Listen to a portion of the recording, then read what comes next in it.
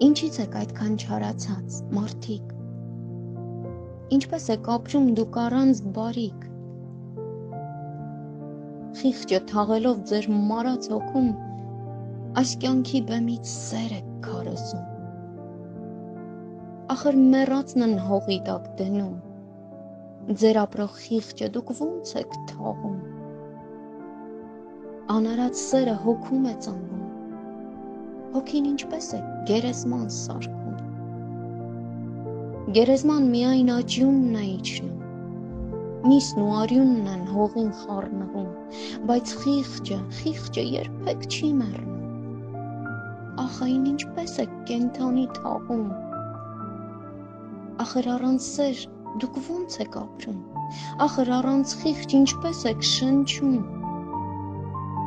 Մարդն առանց տանիք մի դար էլ կապրի բայց առանց խղճի միթե չի մեռնի։ Եվ լավ է մեռնել, մեռնել ու չապրել, քան խիղճը սպանել ու անխիղճ ապրել։ Ախ չէ որ խիղճը հոգում է ծնվում, իսկ արդար հոգին խղճով է սնվում։ Սիրտը սարցունքի ճահճուտում թաղած, վերջին բաբախով սեր է պաղատում վիրավոր հոգիս խոցերով պատված, անգութ մարդկանցից խիղճ է պահանջում։ Այ անխիղճ մարդիկ, հերիք է սպանեք, հերիք է անմեղ կյանքեր կործանեք։ Դեր որքան պիտի մեղքին ծառայեք։